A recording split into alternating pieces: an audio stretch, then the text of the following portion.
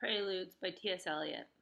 The winter evening settles down with the smell of steaks in passageways, six o'clock, the burnt out ends of smoky days, and now a gusting shower wraps the grimy scrapes of withered leaves about your feet, and newspaper from vacant lots, the shower beat, the showers beat, on broken blinds and chimney pots, and at the corner of the street a lonely cab horse steams and stamps and then the lighting of the lamps.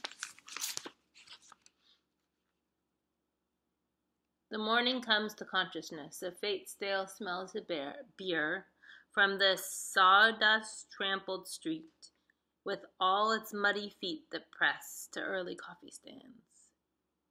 With the other masquerades that time resumes, one thinks of the hands that are raising dingy shades in a thousand furnished rooms.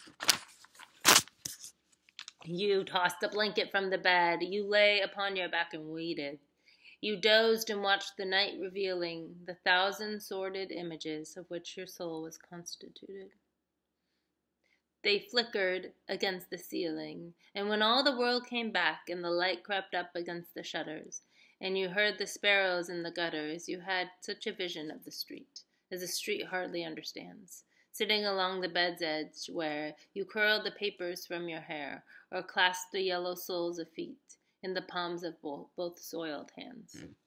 His soul stretched tight across the skies that fade behind a city block, or trampled by insistent feet at four and five and six o'clock, and short square fingers stuffing pipes, and evening newspapers and eyes assured by certain certainties the conscious of blackened streets. Impatient to assume the world, I am moved by fancies that are curled. Around the, these images and cling the notion of some infinitely gentle, infinitely suffering thing. Wipe your hand across your mouth and laugh. The worlds revolve like ancient women, gathering fuel in vacant lots.